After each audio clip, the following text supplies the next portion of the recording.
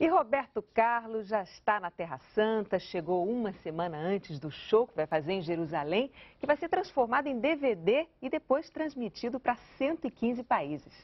Roberto Carlos foi recebido pelo presidente de Israel, Shimon Peres, na residência oficial em Jerusalém. Sua voz chegou antes que seu corpo, disse Pérez ao cumprimentar o rei, que estava acompanhado de empresários, produtores e de seus principais assessores. O rei tirou então um pequeno texto do bolso e desejou a paz falando em hebraico. Shalom, Aleinu, o presidente de Israel, Shimon Peres, quis saber detalhes sobre o show que Roberto Carlos fará na próxima quarta-feira aqui em Jerusalém para 5 mil espectadores.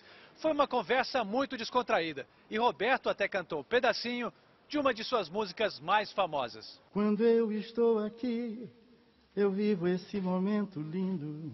Curioso, Shimon Peres fez quase uma entrevista com Roberto Carlos. Quando você começou a cantar, qual a música que você mais gosta? O que diz a letra? Qual a sua primeira música? Quis saber o Prêmio Nobel da Paz. O rei voltou a cantarolar, desta vez em espanhol, a música que o lançou quando tinha apenas nove anos de idade.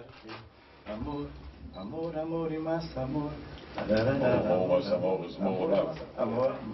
Foi um encontro muito bom, uma coisa, para mim, é uma honra, né, ser recebido pelo, pelo presidente, o homem que tem o Prêmio Nobel da Paz, com certeza que é sempre algo muito importante. Roberto Carlos disse que chegou quase uma semana antes do show a Jerusalém, porque nos próximos dias quer fazer turismo na cidade, conhecer templos e lugares santos e fazer gravações para o show que será exibido no Brasil no dia 10 de setembro.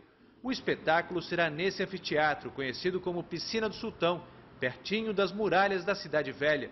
O palco será ampliado para receber uma mega estrutura. O cenário vai reproduzir os principais lugares sagrados para judeus, cristãos e muçulmanos.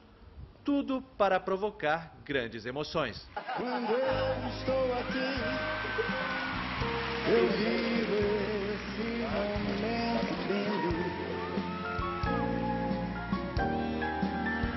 olhando para você e as mesmas emoções sentindo